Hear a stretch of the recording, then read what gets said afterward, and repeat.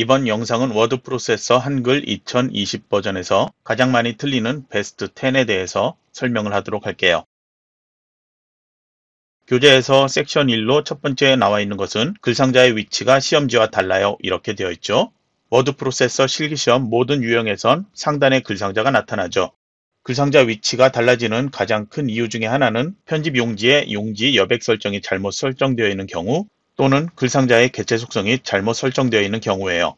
편집 용지가 잘못 설정되어 있는 경우에 먼저 F7키를 눌러서 용지 설정을 보면은 문제 유형 모두 동일하게 용지 여백은 A4 사이즈 그리고 용지 방향은 세로 그리고 제본은 한쪽으로 되어 있는데요. 이게 한글 2020에서 기본 상태예요. 그리고 용지 여백은 기본 설정이 이렇게 되어 있습니다. 시험에서는 문제 유형이 A, B, C형으로 그렇게 구분되어 나타나는데요. 저희 교재에서도 문제 유형이 A형, B형, C형 이렇게 각각 구분되어서 표시가 되어 있죠. 문제 유형 A형 같은 경우에는 왼쪽, 오른쪽, 그리고 위쪽과 아래쪽 이렇게 모두 20mm로 되어 있고요. 머릿말과 꼬릿말은 10mm, 기타 여백은 0mm로 되어 있습니다. B형과 C형은 왼쪽과 오른쪽은 20mm, 그리고 세로로 있는 위쪽, 아래쪽, 머릿말, 꼬릿말 이네 개는 10mm, 기타는 0mm 이렇게 되어 있죠. 그래서 문제 유형에 따라서 이렇게 용지 여백 설정이 달라져 있는데 시험장에서 받게 되는 시험지의 제일 첫 번째 장에 용지 여백에 대한 설정이 나와 있죠. 출제된 용지 여백의 설정값을 확인하지 않고 작성을 하는 경우에 달라질 수 있습니다. B형과 C형 같은 경우에는 위쪽 아래쪽 머릿말 꼬릿말이 모두 동일하게 10mm로 되어 있지만 위쪽 아래쪽 그리고 머릿말 꼬릿말 이렇게 각각 단위가 지정되어 있죠. 그러니까 상설 시험 같은 경우에는 이 값이 변경되어 출제될 수도 있습니다. 그러니까 시험장에서는 출제되어 있는 용지 여백의 값이 어떻게 설정되어 있는지 꼭 확인하고 수정을 해야 합니다. 그리고 화면의 보기 상태를 본문과 용지 여백 그리고 머릿말 꼬릿말 이렇게 확인할 수 있도록 화면 보기 상태를 설정해 놔야 되겠죠. 그래서 보기 메뉴에서 쪽 윤곽 체크되어 있어야지 이렇게 보기가 나타납니다. 쪽 윤곽이 해제된다면 이렇게 본문 영역만 넓게 나타나죠. 그리고 화면의 보기를 좀 크게 맞추기 위해서 교재에서는 폭 맞춤 상태로 보고 있습니다. 두 번째로 글상자 개체 속성 대화상자에서 위치를 잘못 설정한 경우가 있는데요. 먼저 글상자를 하나 만들어 놓고 보도록 할게요. 글상자 만들어 개체 속성 들어가서 보면은 이렇게 개체 속성의 기본 탭에서 크기, 위치 지정할 수 있죠. 문제 유형 A, B, C형의 세부 지시사항에서 글상자에 대한 건 두 번째 지정되어 있죠. 첫 번째로는 쪽 테두리가 지정되어 있죠.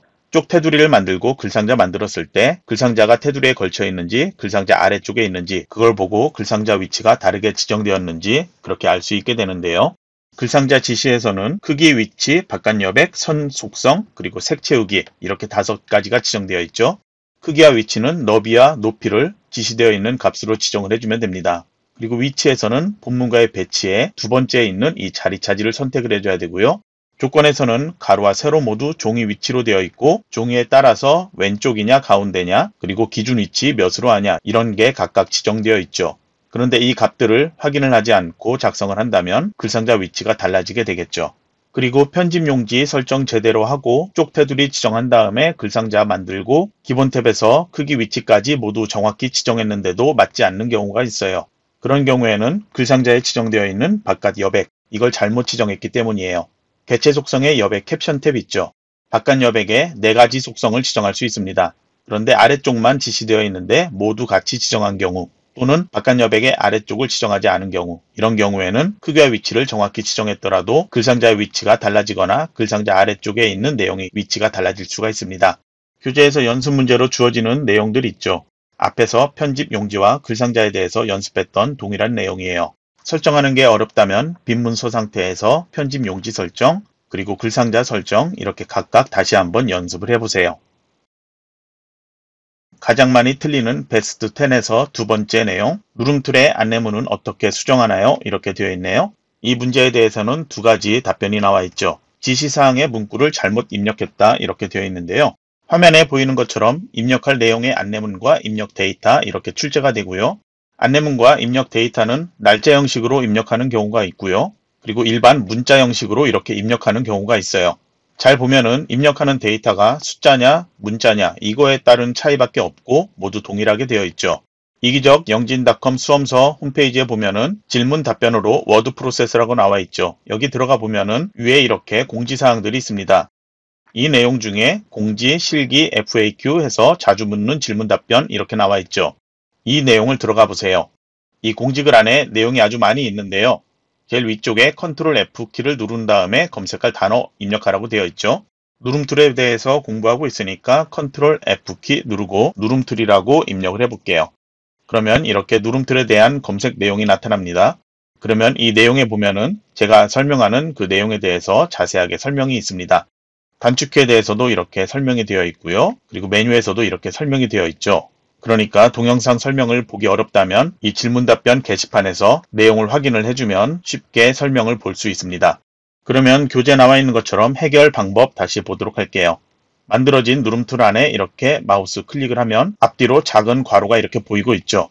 여기서 컨트롤 NK를 누르면 이렇게 누름틀 입력 고치기가 나옵니다. 여기에서 입력할 내용의 안내문을 확인을 해야 되는데요.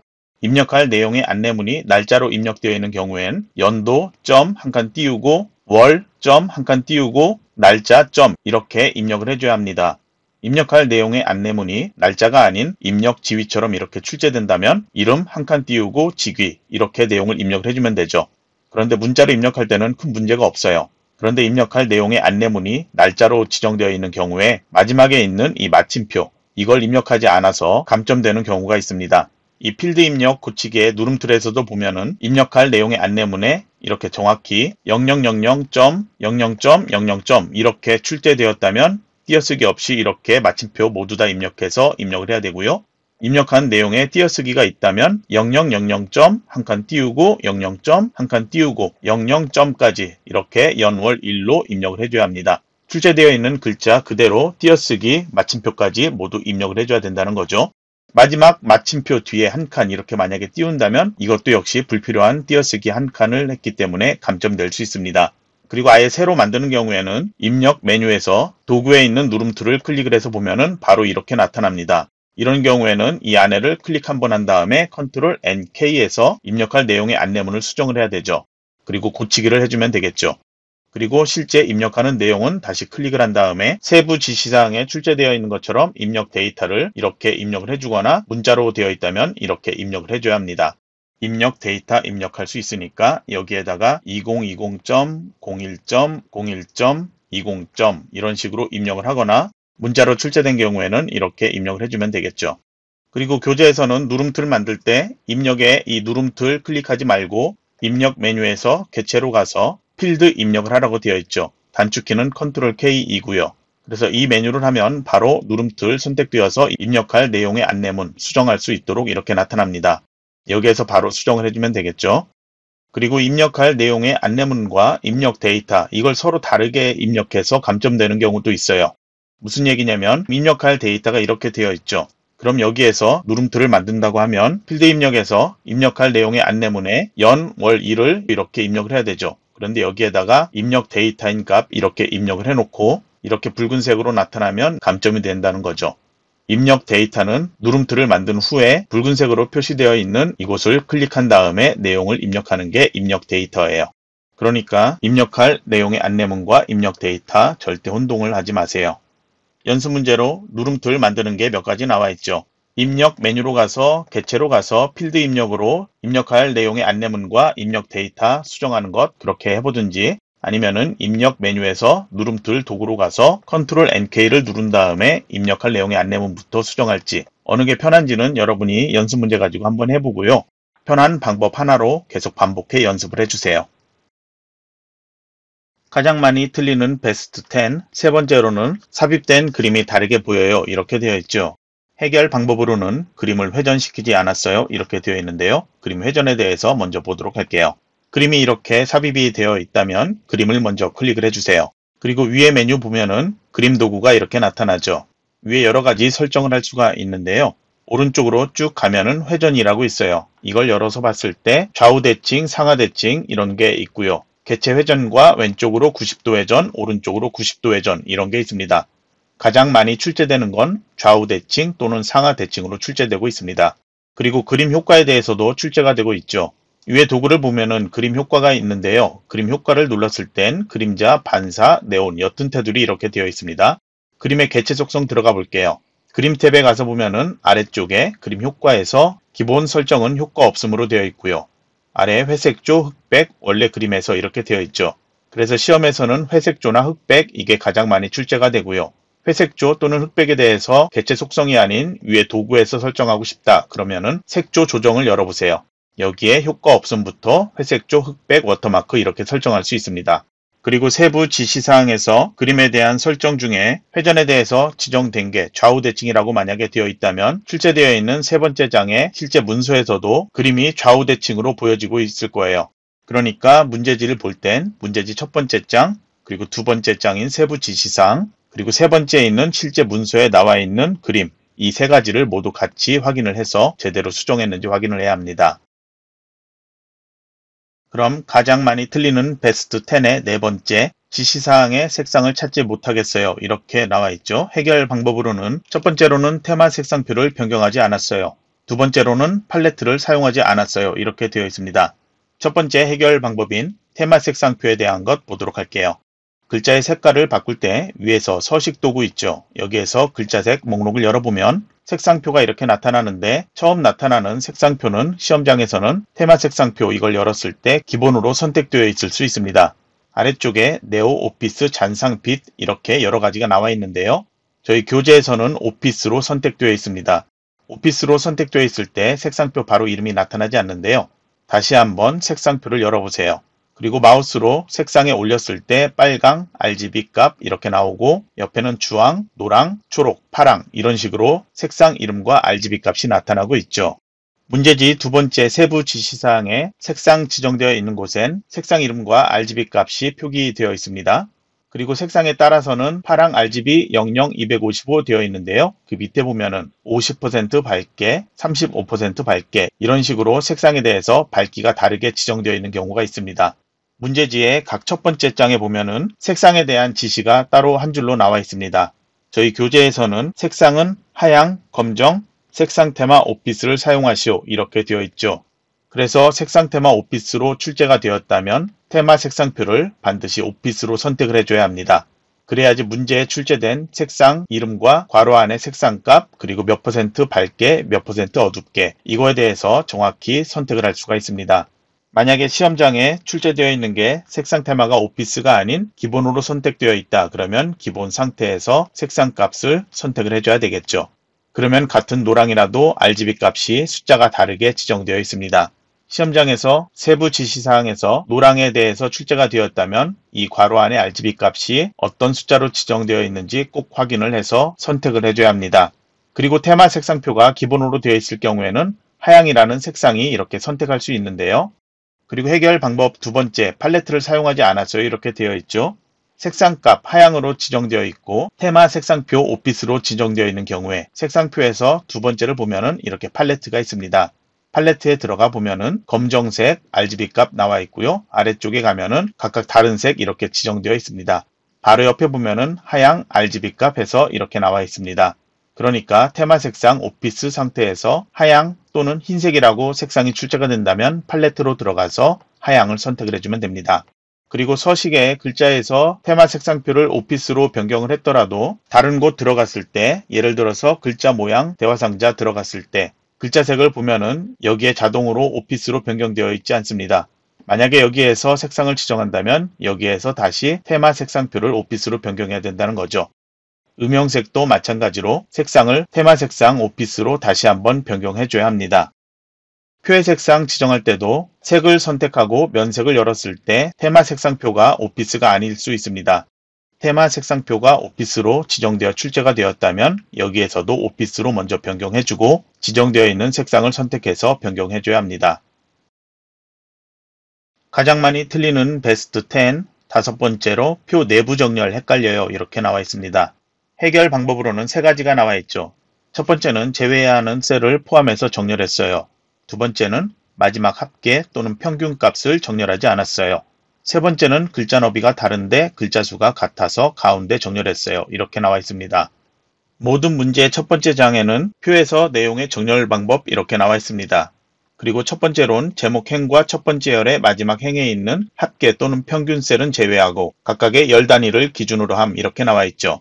이 내용은 평균이라고 써 있는 이 셀은 제외하고 각각 이렇게 열 단위로 지정을 해라 이렇게 되어 있습니다. 그래서 맨 첫 번째 열은 평균 셀은 제외하라니까 이렇게 되겠죠. 이 단위로 지정을 하고 나머지는 아래 평균값까지 나와 있는 이 열 단위로 정렬하라 이 의미가 되겠습니다. 그리고 여기 내용에 추가적으로 이 내용들이 나와 있죠. 내용의 길이가 서로 다른 문자의 경우 왼쪽 정렬. 이 내용은 보통 구분 아래에 있는 내용인데요. 이 세 개 셀에 있는 각 글자들은 두 글자로 되어 있지만 계산할 수 없는 문자로 되어 있고 길이가 서로 다르게 보이고 있죠. 이런 경우에는 내용의 길이가 서로 다른 문자이기 때문에 왼쪽 정렬 이렇게 지정을 해줘야 합니다. 표의 모든 셀은 처음 만들었을 때는 양쪽 정렬로 되어 있어요. 그래서 구분 아래 이 셀도 처음에는 양쪽 정렬로 되어 있겠죠. 양쪽 정렬과 왼쪽 정렬 어느 걸 변경해도 화면에 보이는 게 변동이 없습니다. 그래서 이것을 양쪽 정렬로 놓아서 감점되는 경우가 있습니다. 반드시 내용의 길이가 서로 다른 문자의 경우에 왼쪽 정렬 이걸 지정을 해줘야 합니다. 두 번째 내용인 내용의 길이가 서로 다른 숫자의 경우 숫자는 사칙 연산 더하기 빼기 곱하기 나누기를 할 수 있는 것을 숫자라고 합니다. 그러면 A, B, C 아래 그리고 증감 아래에 있는 이 숫자가 될 테고요. 그 아래 평균도 숫자로 되어 있으니까 모두 동일하게 지정을 해야 되겠죠. 그리고 각각의 열 단위를 기준으로 하라고 했으니까 A열 같은 경우에는 두 번째 행부터 평균까지 이 4개 행, B가 써있는 이 열은 B 아래 두 번째부터 B 아래 평균 써있는 이 셀까지 같이 정렬, 그리고 C가 써있는 이 열도 두 번째 행부터 평균 써있는 행까지 이렇게 같이 정렬, 증감 같은 경우에는 맨 아래는 빈칸으로 되어 있지만 두 번째 행부터 맨 마지막 행까지 이 단위로 정렬해주면 됩니다. 그래서 A 써 있는 이 데이터 같은 경우에는 이 단위로 선택을 해준 다음에 내용의 길이가 다르게 되어 있죠. 평균의 값이 다섯 글자로 되어 있죠. 그렇기 때문에 여기는 오른쪽 정렬을 지정했고요. B 써 있는 2열의 데이터 역시 평균의 값이 다르게 되어 있기 때문에 오른쪽 정렬 지정했고요. C 써 있는 이 데이터도 역시 마찬가지로 오른쪽 정렬 지정했죠. 그리고 증감 써 있는 이 데이터 나중의 데이터 값이 한 글자가 이렇게 마이너스가 추가가 되어 있죠. 여기도 그래서 이 4개 단위를 오른쪽 정렬 지정해주면 됩니다. 만약에 B열의 데이터 평균 값이 이렇게 3개로 되어 있다면 여기는 가운데 정렬 지정해야 되겠죠. 그래서 세 번째 내용 조건인 내용의 길이가 서로 같은 경우 문자냐 숫자냐 이거 상관하지 말고 가운데 정렬해라. 그래서 비열의 데이터가 만약에 이렇게 나왔다면 여기는 가운데 정렬 지정해주면 됩니다. 파트 1의 표에 대한 설명과 기출문제 따라하기에 동영상에 설명하고 있는 것처럼 표 안의 정렬에 대해서 가장 쉽게 정렬하는 것은 출제되어 있는 문제에서 표의 내용을 보고 정렬하는 거예요. 그래서 이 내용들 이해했다면 상관이 없지만 이해를 못했다면 이렇게 출제되어 있는 문제지에 표를 봐주세요. 그래서 첫 번째 열은 모두 가운데 정렬 지정하고요. 평균 써 있는 이 셀 역시 가운데 정렬 항상 동일하게 지정합니다. 그러면 구분 써 있는 셀 그리고 평균 써 있는 셀 이 사이에 있는 이 세 개 셀 이것만 따로 정렬하는데요. 현재 화면에 보이는 것 보면 왼쪽 정렬되어 있는 것 그대로 보이고 있죠. 만약에 이 세 개 셀에 연도가 이렇게 나타난다면 이건 숫자로만 되어 있지만 이 숫자 사이에 있는 점은 옆에 있는 소수점과 다른 거죠. 이거는 사칙 연산을 할 수 있는 게 아니죠. 왼쪽과 오른쪽 모두 동일하게 되어 있고 글자 개수 동일하죠. 그러니까 이거는 가운데 정렬로 지정하는 게 맞습니다. 그리고 나머지 셀 이 4개는 모두 열 단위로 첫 번째 열 제외하고 아래 평균까지 이 단위로 같이 정렬하고요. B 써 있는 이 열도 아래 데이터들 평균까지 같이 정렬 C 써 있는 이 데이터도 평균까지 같이 정렬 마지막 셀도 아래 비어 있어도 앞에 셀들과 동일하게 마지막 셀까지 같이 열 단위로 정렬해 주면 됩니다. 그러면 표 안에 정렬에 대해서 이해가 되었나요? 연습 문제에 있는 표를 다시 보고 정렬해 보세요. 제가 방금 얘기한 것처럼 실제 출제되어 있는 표 안에 정렬 상태를 보고 정렬해주면 쉽게 알 수 있습니다. 가장 많이 틀리는 베스트 10 여섯 번째 블록 계산식의 자릿수가 달라요 이렇게 나와 있는데요. 원인과 해결 방법으로는 표의 계산식의 형식이 시험지와 다른 경우 그리고 평균 산출 시 소수점 아래 자리를 수정하지 않은 경우 이렇게 되어 있습니다. 첫 번째로 계산식 형식이 시험지와 다른 경우에 대해서는 출제되어 있는 문제에서 평균으로 출제되어 있는지 합계로 출제되어 있는지를 확인을 해야 되겠죠. 평균을 구하는 문제에서는 소수점 아래가 기본적으로 두 자리로 나오고 있는데요. 소수점 아래가 한 자리로 변경되거나 소수점 아래 값이 다르게 출제되어 있을 수 있습니다. 각각의 블록 계산식 수정을 할 수가 있죠. 그래서 첫 번째 것 A열의 평균값 이 안에 커서를 놓고 계산식 고치기 들어가 보세요. 계산식에는 엑셀에 있는 것처럼 평균에 대한 에버레이지 함수가 이렇게 지정되어 있습니다.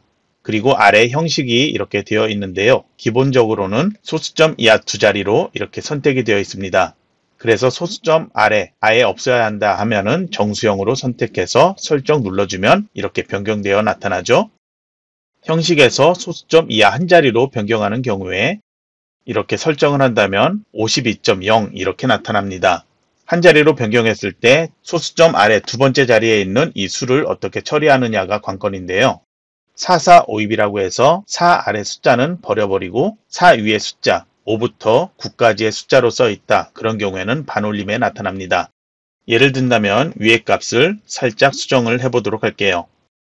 여러분이 조금 이해하기 쉽게 출제된 문제 실제 표의 평균처럼 이렇게 표기를 해놓았습니다. 그러면 여러분이 작성한 건 위의 표가 되겠는데요. 비교를 해보도록 할게요. 위에 A, B, C열의 데이터는 동일한 상태고요.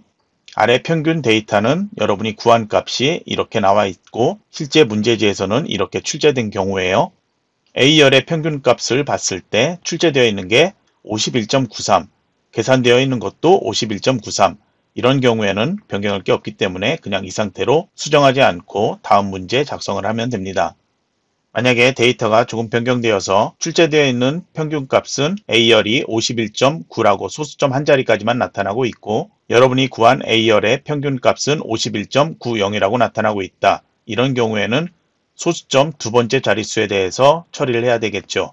그러면 0이라는 숫자는 4452으로 반올림을 했을 때 4 이하의 숫자이기 때문에 계산식 고치기에서 소수점 이하 한 자리로 형식을 변경을 해서 설정을 해보면 반올림이 없기 때문에 51.9라고 나타납니다. 그러면 평균과 동일하게 값이 나타나겠죠.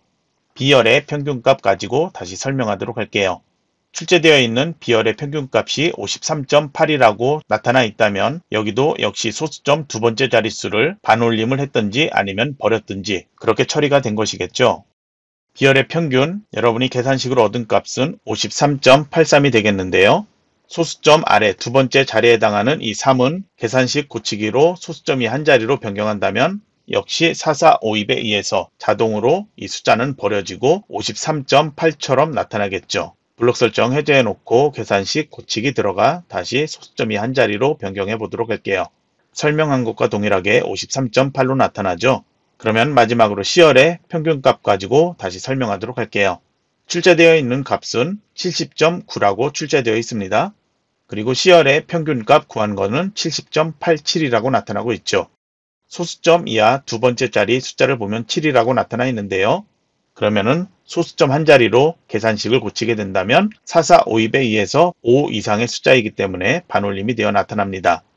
여기는 70.87이 아닌 70.9가 되어 나타납니다. 직접 고쳐보도록 할게요. 소수점 이하 한 자리로 변경을 해서 보면 70.9라고 나타납니다.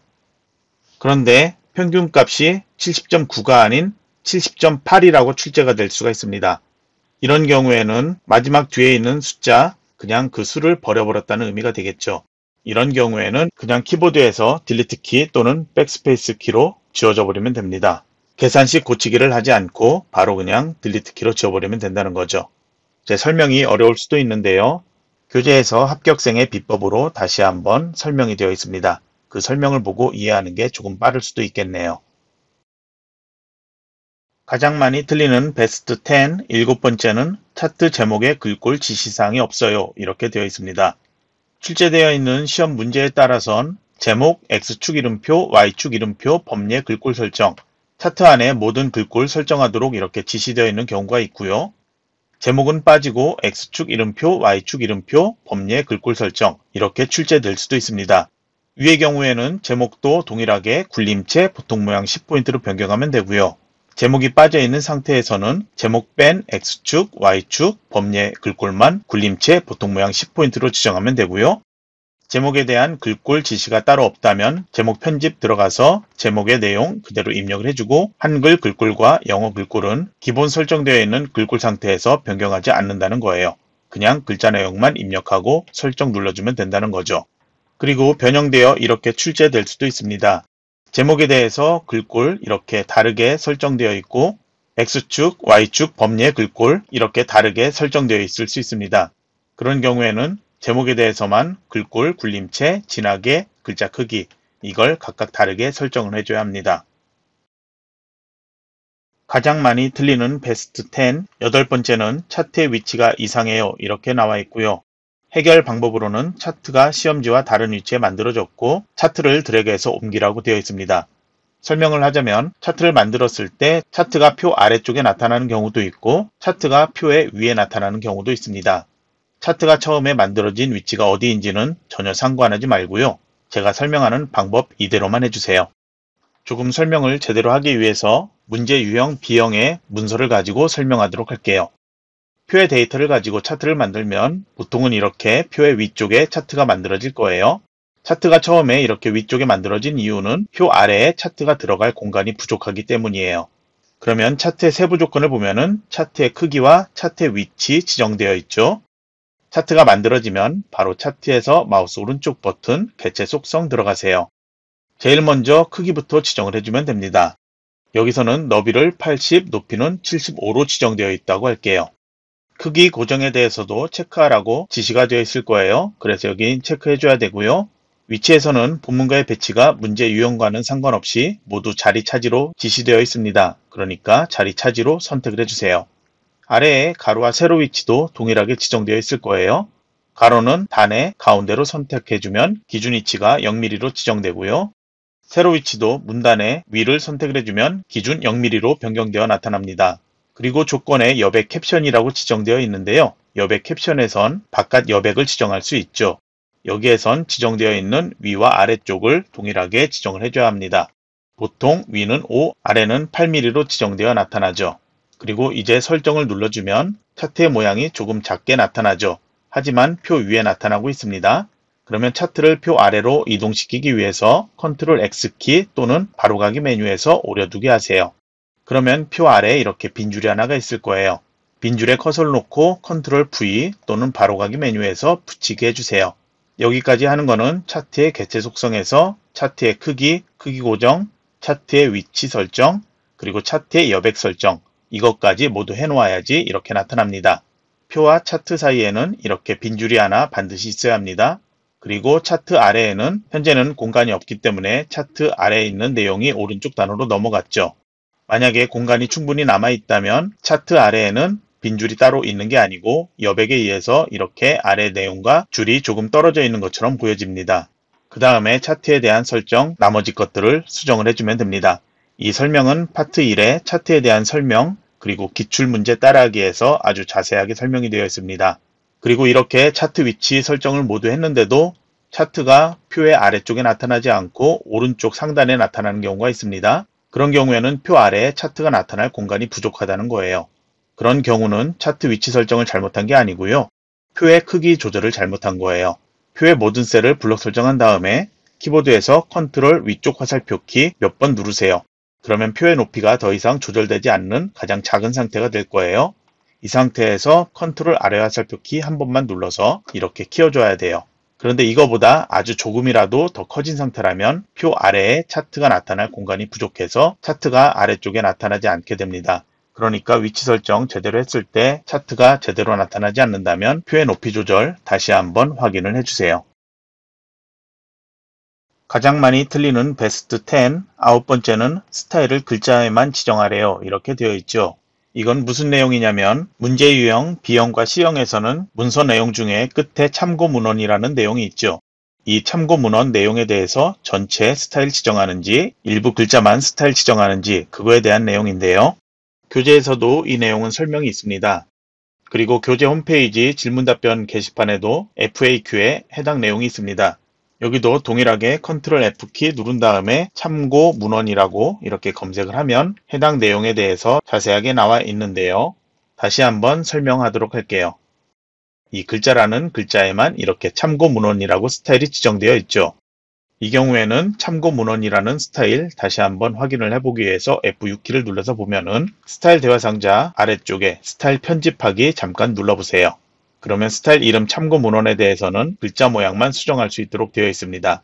이건 제가 이미 이렇게 만들어 놓았는데요. 스타일을 추가할 때 스타일의 종류를 문단으로 선택해 놓으면 문단 모양과 글자 모양 같이 선택할 수 있고요. 스타일 종류를 글자를 선택하면 글자 모양만 설정을 해 놓을 수가 있습니다. 그래서 출제되어 있는 문제에서 참고 문헌의 일부 글자만 스타일을 지정한다. 그런 경우에는 글자를 선택을 해서 지시되어 있는 글자 모양에 대해서만 설정을 해주면 됩니다.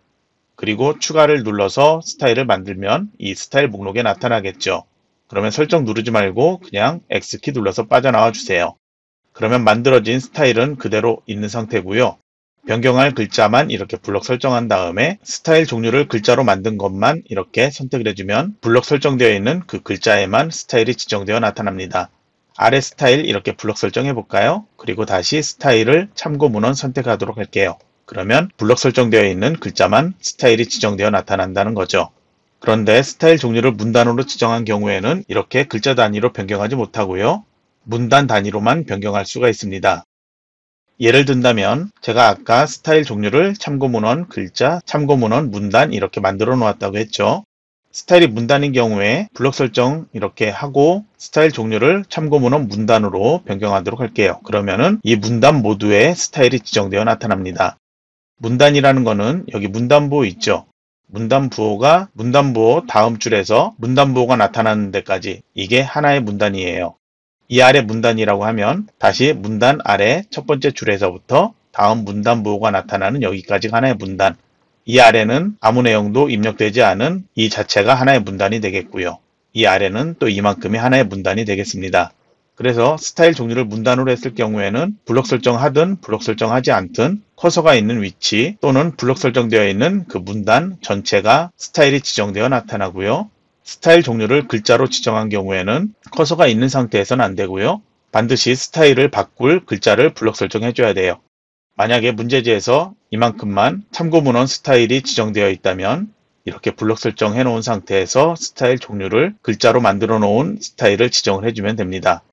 그러니까 이 내용에서 핵심은 스타일을 만들 때 문단으로 만들 거냐, 스타일을 만들 때 글자로 만들 거냐, 그 선택만 잘해주면 쉽게 스타일 설정을 할 수가 있습니다. 가장 많이 틀리는 베스트 10 마지막 열 번째로 완성된 문서가 이쪽이 되었어요. 이렇게 되어 있죠. 문제가 발생한 이유로는 불필요한 빈줄이 있거나 차트 아래 빈줄이 있는 경우에요. 그래서 실제 완성된 문서 상태에서 이렇게 이쪽으로 만들어 놓았는데요. 먼저 위에서부터 살펴본다면 글상자와 아래 문단 사이에 현재 시험에서는 빈줄이 없게 출제가 되고 있습니다. 그래서 이렇게 빈줄이 있다면 빈줄을 없애 놓아야 되겠죠. 그래서 이 빈줄에서 딜리트 키를 누르면 이렇게 사라지고요. 아래 표 제목 위에도 빈 줄은 무조건 하나만 있어야 합니다. 그러니까 이렇게 빈 줄이 있다면 한 줄로 이렇게 변경해 놔야 되고요. 그리고 현재 보이는 것처럼 빈 줄에 스타일이 지정되거나 글자 크기가 변경되거나 글꼴이 바뀌거나 이런 경우에도 줄 간격이 커질 수가 있습니다. 이런 경우에는 빈 줄에 커서를 놓고 컨트롤 숫자 1키를 같이 눌러주세요. 그러면 빈줄의 스타일이 바탕글 스타일로 변경되어 나타납니다. 그리고 흔치는 않지만 표 제목에서 엔터키를 누르지 않고 표를 만들어서 문제가 발생하는 경우도 있어요. 그런 경우에는 표 제목이 두 줄로 나타날 수도 있죠. 이런 경우에는 표 제목의 마지막 칸에서 커서를 놓고 엔터키 한번 누르세요. 그러면 표 제목과 표가 있는 줄이 문단이 나뉘게 되죠. 커서는 표 바깥에 앞에서 이렇게 깜빡이고 있는데요. 표가 있는 줄의 스타일이 표 제목으로 나타나고 있을 거예요. 이런 경우에는 컨트롤 1키 또는 위에 서식 도구에서 바탕글로 변경하세요. 그러면 표 제목이 있는 줄이 바탕글 스타일로 변경이 되는데요. 세부 지시사항에 보면은 표에 대한 조건에서 표가 있는 줄은 가운데 정렬 지정하라고 되어 있죠. 그러니까 그런 경우에 반드시 가운데 정렬 지정해줘야 합니다. 그리고 표와 차트 사이에 빈줄 하나만 있어야 되고요. 차트 아래 빈줄이 이렇게 있는 경우도 있습니다. 이건 잘못된 거니까 차트 아래 빈줄에 커서를 놓고 백스페이스 키 한번 눌러서 빈줄 없애 놓아야 합니다. 그리고 오른쪽 단으로 넘어가서 소제목 위에 빈줄이 이렇게 있다면 역시 빈줄이 하나 있도록 만들어 놓아야 되고요. 아래쪽에 참고문헌 위에도 빈줄이 있는데 여기도 역시 빈줄 하나만 있어야 됩니다. 문서 전체에서 빈줄이 있어야 할 곳들 보면은 모두 빈줄은 하나만 있어야 되고 그 빈줄은 스타일이 모두 바탕글 상태에서 글꼴과 글자 크기, 모든 속성 아무것도 설정되어 있지 않은 상태예요. 그리고 마지막으로 문서의 마지막 글자 아래 빈줄이 이렇게 만들어져 있는 경우에도 문서가 이쪽이 될 수가 있어요. 그러니까 마지막 글자 뒤에는 더 이상 빈줄을 만들지 않습니다. 지금까지 가장 많이 틀리는 베스트 10에 대해서 살펴봤는데요. 교재 홈페이지에 질문 답변 게시판을 보면은 이외에도 많은 내용들 질문이 오가고 있습니다. 아까 잠깐 보여준 것처럼 질문 답변의 워드 프로세서에서 공지글로 실기 FAQ 자주 묻는 질문 답변 이 게시판 내용이 있다고 했죠. 여기에서 컨트롤 F키를 누르고 검색하려는 내용에 대해서 검색을 해보면 많은 내용이 있습니다. 시험에서 자신도 모르게 실수할 수 있는 부분 또는 교재 출간된 후에 문제에 추가적으로 변경된 부분에 대해서 이 공지글에 자세한 설명들이 나와 있습니다. 그러니까 시험 보기 전에 시간을 내서 이 공지글의 내용 모두 한번 읽어봐 주고요. 기출문제 따라하기 동영상을 보면서 다시 한번 자신이 실수하는 부분이 있는지 검토를 한번 해주고 그리고 시험 보러 가면 좋을 것 같아요. 그러면 이번 내용에 대해서는 여기서 마치도록 하고요. 추가적으로 질문사항이 있다면 이 홈페이지의 질문 답변 게시판에서 질문을 남겨주세요. 그리고 질문 남길 때 여기 질문 전 필독 사항 있죠. 여기에 있는 것처럼 실기 교재 질문할 때는 연도 포함한 교재명 그리고 질문하는 문제번호 모의고사 3회, 기출문제 1회 이런 식으로 적어주거나 페이지 번호를 적어주고 여러분이 직접 작성한 한글 파일을 첨부를 해주면 질문에 대해서 정확한 답변을 해줄 수가 있습니다. 그러면 이번 영상은 여기서 마치도록 하겠습니다.